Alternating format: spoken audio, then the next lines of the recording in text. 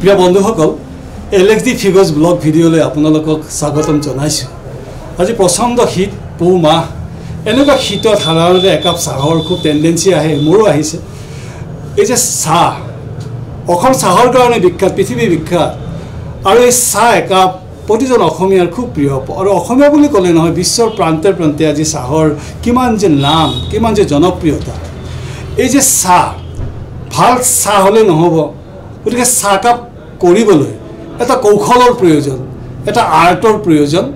আৰু চাওক একাপ ভাল চাহ খাবলৈ হ'লে বা একাপ চাহৰ সোৱাদ বুজিবলৈ হ'লে কোনো শিক্ষা দীক্ষাৰ কোনো প্ৰয়োজন নাথাকে। গতিকে একাপ চাহৰ সোৱাদ বুজিবলৈ জিভাই চাহৰ সোৱাদ বুজিবলৈ ইয়াত শিক্ষা দীক্ষাৰ কোনো কথা নাই। একাপ চাহ মুখত দিলে বুজি পোৱা যায় একাপ ভাল চাহ। আৰু এই চাহকাপক লৈ যিমানবোৰ চাহ দোকানৰ আজি সমাদৰ হৈছে এই চাহকাপক লৈ আজি অসমৰ বিভিন্ন প্ৰান্তে প্ৰান্তে কিমান জনপ্ৰিয় চাহ দোকান। এই জনপ্ৰিয়তাৰ মূলতে চাহকাপৰ যিটো মানে কি সোৱাদ কিন্তু এই চাহকাপ বনাবলৈ এই চাহ দোকানবিলাকত এজন লিকাৰমেন থাকে। এই লিকাৰমেনজনক কিন্তু কোনেও নাজানে। যেনেদৰে ভ্ৰাম্যমান মঞ্চত পোহৰৰ পোহৰ পোহৰৰ কাম কৰাজনক যে পোহৰ শিল্পীগৰাকীক যেনেকৈ দৰ্শকে গম নাপায় এখন চাহ দোকানৰ সুনামত লিকাৰমেনজনৰ যথেষ্ট ভূমিকা থাকে আৰু লিকাৰমেনজনৰ কাৰণে এখন চাহ দোকান জনপ্ৰিয় হয়। আৰু তেনেগৰাকী লিকাৰমেনৰ কাষ চাপিছোঁ এই ব্লগ ভিডিঅ'টোৰ মাজেৰে। আচ্ছা তেনেকুৱা লিকাৰমেন আচ্ছা আপোনাৰ নাম কওকচোন বাৰু আহকচোন আহক। মই পবিত্ৰ কলিতা। এখেতৰ নাম পবিত্ৰ কলিতা। পাঠালাৰ অনুভৱ ৰেষ্টুৰেণ্টত তেওঁ বহু বছৰ ধৰি লিকাৰমেনৰ কাম কৰি আছে। আচ্ছা বাৰু আপুনি লিকাৰমেনৰ কাম আজিলৈকে কিমান বছৰ ধৰি কৰিলে? বিছ পঁচিছ বছৰ হ'ল। তেখেতে বিছ পঁচিছ বছৰ ধৰি লিকাৰমেনৰ কাম কৰি আছে। চাওক এজন মানুহে প্ৰতি সদায় চাহৰ কাম কৰে। শ শ কাপ হাজাৰ হাজাৰ কাপ এখেতৰ হাতেৰে চাহ নিৰ্মাণ হয়। গতিকে এখেতক কিন্তু কোনেও নাজানে। সেইকাৰণে পবিত্ৰ কলিতা হয়নে গতিকে পবিত্ৰ কলিতাৰ কাপ চাপিছোঁ। এই যে লিকাৰমেন এজন লিকাৰমেন হ'বলৈ বহুত অভিজ্ঞতাৰ প্ৰয়োজন। আচ্ছা প্ৰথমতে আপুনি চাহ দোকানলৈ আহি প্ৰথমতেতো লিকাৰমেন হোৱা নাছিল প্ৰথমতে চাহ দিয়া বয়টো হৈছিলে। এই যে চাহ দিয়া বয়ৰ পৰা লিকাৰমেন হ'বলৈ আপোনাক কেইবছৰ লাগিছিল? মোটামুটি জোৰে কওক অকণমান। আঠ ন বছৰমান হৈছে। চাওক এজন চাহ দিয়া বয়ৰ পৰা লিকাৰমেন হ'বলৈ তেওঁ তেখেতক আঠ ন বছৰৰ প্ৰয়োজন হৈছিল। বাৰু কওকচোন এতিয়াতো এই যে লিকাৰমেন হিচাপে আপোনাৰ যিটো অভিজ্ঞতা এতিয়া বহুতে চেনি দিয়া খায় চেনি নিদিয়া খায় কিছুমানে কি গাখীৰ দিয়া মানে কি হয় কাঢ়া চাহ খায়। আগতে কেনেকুৱা আছিল কিবা চালু চাহ স্পেচিয়েল চাহ তেনেকুৱা কিবা আছিল নেকি বাৰু? চালু চাহ আছিল এটা পিচিল চাহ আছিল আদা দিয়া চালু চাহ হ'ল গাখীৰ দুই দুই আঙুল দিওঁ লাল চাহ লালি দিওঁ। আচ্ছা। চালু চাহটো। মানে এখেতে কৈছে যে আগতে সাধাৰণতে কি হয় চালু চাহ আৰু স্পেচিয়েল চাহ আছিল চাহ দোকানবিলাকত।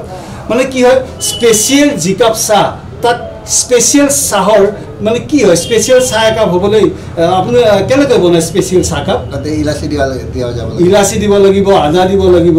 আচ্ছা স্পেচিয়েল চাহত মানে কি গাখীৰত পানী মিক্স নাথাকে নেকি? নাথাকে। সাধাৰণতে কিছু বছৰ আগলৈকে আমাৰ এইটো অঞ্চলত স্পেচিয়েল চাহৰ খুব জনপ্ৰিয়তা আছিল।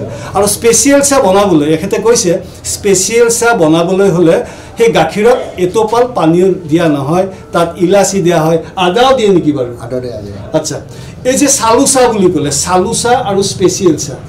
আপুনি অকণমান আগতে ক'লে যে কি মানে কি চাহকাপ বনাওঁতে আপোনাৰ গাখীৰ পানী আৰু গাখীৰ মিহলি সেই বস্তুখিনি থাকে আৰু কি হয় চাহপাত উতলোৱা সেই পানীখিনি থাকে।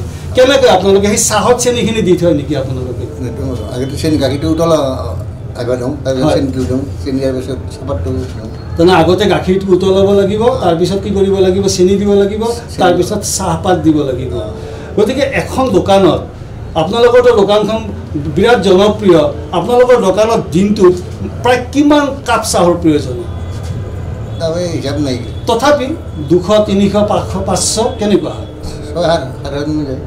চাওক পবিত্ৰ কলিতাই কৈছে এখন যিখন ৰেষ্টুৰেণ্টত তেওঁ ইতিমধ্যে কাম কৰি আছে তেওঁৰ হাতেৰে ছয়শ সাতশ কাপ চাহ তেনেকৈ তেওঁ নিজৰ হাতেৰে প্ৰস্তুত কৰে।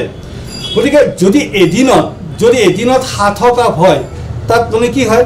এমাহত কিমান হ'ব? এবছৰত কিমান হ'ব? সেই সূত্ৰে তেখেতে আজি প্ৰায় বিছ ত্ৰিছ বছৰ লিকাৰমেনৰ কাম কৰিছে। কিমান লাখ চাহ তেওঁ মানে কি গ্ৰাহকক খুৱাইছে। গতিকে চাওকচোন কেতিয়াবা গ্ৰাহকে আপোনালোকেতো আৰু কেতিয়াবা চাহত চেনি বেছি হৈ যায় চেনি নোখোৱা গ্ৰাহকজনে কেতিয়াবা আপোনালোকক বেয়াকৈ কয় নেকি? বেয়াকৈ মানে কয় চিনি এনে মিঠা দি মিঠা কমকৈ দিবা কৈছে হয়। মালিকো কমপ্লেইন দিয়ে। আচ্ছা। মানে কি হয় যদি কিবা চেনি যদি বেছি হয় বা চেনি যদি কম হয় মালিকক কমপ্লেইন দিয়াটো গ্ৰাহকৰ এটা মোটামুটি ধৰ্ম হয়নে নহয়। হয়নে? আচ্ছা ভাল একাপ চাহ দিয়াৰ পিছত যে মালিক যদি গ্ৰাহকে কয় যে খুব খুব সুন্দৰ চাহ বনাইছে আপোনালোকৰ মনটো কেনেকুৱা লাগে? ভাল লাগে ভাল বুলি ক'লে ভাল লাগে। গতিকে চাওক গতিকে এই যে লিকাৰ মেন এখেতসকলে সদায় এন্ধাৰতে ৰৈ আছে। গতিকে আজি পবিত্ৰ কলিতাৰ মাজেৰে এজন লিকাৰমেনৰ যিটো মানে কি সংগ্ৰাম বা লিকাৰমেনৰ যিটো ত্যাগ চাওক এতিয়াতো ঠাণ্ডা। গৰমতো আপোনালোকৰ কষ্ট হয় ঠাণ্ডাতো কষ্ট হয়। কষ্ট হয়। হয়নে নহয়? গৰমত কেনেকুৱা কষ্ট ঠাণ্ডাত কেনেকুৱা কষ্ট কওকচোন বাৰু। গৰমতে মানে ওলাই আহিব ইচ্ছা যায় পাকঘৰৰ পৰা। প্ৰচণ্ড গৰমত মানে কি হয় মানে লিকাৰ ৰুমৰ পৰা আপোনালোকৰ ওলাই আহিব মন যায়। আৰু ঠাণ্ডা দিনততো পানীৰে কাম হয়। হয়নে গতিকে পবিত্ৰ কলিতাৰ মাজেৰে এটা কথা প্ৰতীয়মান হ'ল এজন লিকাৰমেন হ'বলৈ হ'লে ঠাণ্ডা দিন গৰমৰ দিন বুলি কোনো কথা নাই। দুয়োটা সময়তে কষ্ট ঠাণ্ডা দিনত পচন্দ মানে কি শীত শীতৰ কাৰণে পানীবিলাক ঠাণ্ডা হয় বৰফ হৈ যায় প্ৰায়। আৰু গৰমৰ দিনততো কিমান চেণ্টিগ্ৰেড আহিব? Thirty thirty five degree centigrade আহে। গতিকে এই লিকাৰমেনৰ মাজেৰে এখন চাহ দোকানৰ জনপ্ৰিয়তাৰ আঁৰত এই লিকাৰমেনসকলৰ যিটো অৰিহণা এই কথাবোৰ চিৰদিন এন্ধাৰতে ৰৈ যায়। গতিকে তেনেকুৱা এটা বিষয় লৈ আজি মই ব্লগ ভিডিঅ'টো কৰিবলৈ ওলাইছোঁ। এই যে লিকাৰমেন এই যে চাহ কৰি এই যে আপোনাৰ হাতেৰে কিমান লাখ লাখ মানুহে চাহ খাইছে হয়নে কোনোবা গুৱাহাটীৰ ধুবুৰীৰ হয়নে? ডিব্ৰুগড়ৰ হয়নে? আপোনাৰ ভাল লাগেনে? ভাল লাগে। ভাল লাগেনে আপুনি চাহ খাই ভাল পায়নে নাপায়? ভাল পোৱা বুলি কয়। মালিকক কম কয় বোলে চাহ কাপ খাই ভাল লাগছে আচ্ছা মালিকে যেতিয়া কয় যে চাহকাপ খাই ভাল লাগিছে আপোনাৰো ভাল লাগে? হয়নে নহয়? মালিকে নকয় কিন্তু চাহ কাপ যে ভালকৈ বান্ধিছে মালিকে নকয় কাষ্টমাৰে ভাল পাব মালিকক কৈ যায়।